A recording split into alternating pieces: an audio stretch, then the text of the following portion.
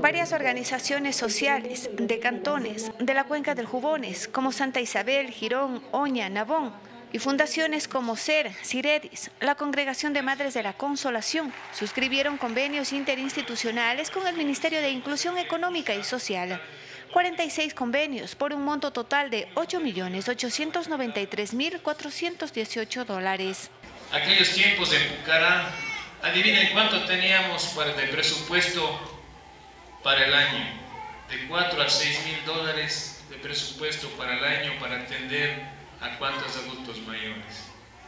Pero llegó, mediante la elección del corazón del pueblo ecuatoriano, nuestro presidente Rafael Correa, y pasó de 4 a 6 mil dólares a 40 a 60 mil dólares, no solo para atender a los mayores de la casa, sino para atender a más adultos mayores que necesitaban. Se espera con los recursos poder garantizar los derechos de niñas, niños y adolescentes, personas con discapacidad, adultas y adultos mayores. Pero resulta más importante aún si rememoramos el pasado.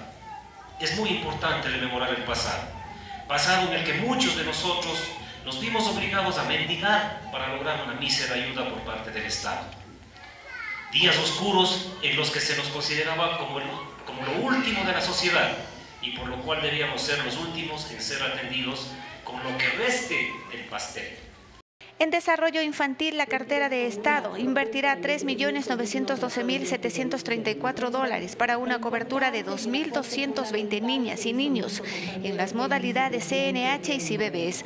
Para discapacidades, un monto de 1.180.403 dólares y una atención a 779 personas. En protección a adultos mayores se prevé invertir 1.283.543 dólares con una cobertura de 2.059 personas. Hoy hemos multiplicado casi por cuatro veces la inversión social en el país durante los ocho años de nuestro gobierno. Para nosotros, en un año complejo económicamente como este, la prioridad va a estar y estará en garantizar los servicios para todos los ciudadanos y ciudadanas. Educación, salud, inclusión social son parte de las prioridades. María Isabel Peña, Telediario.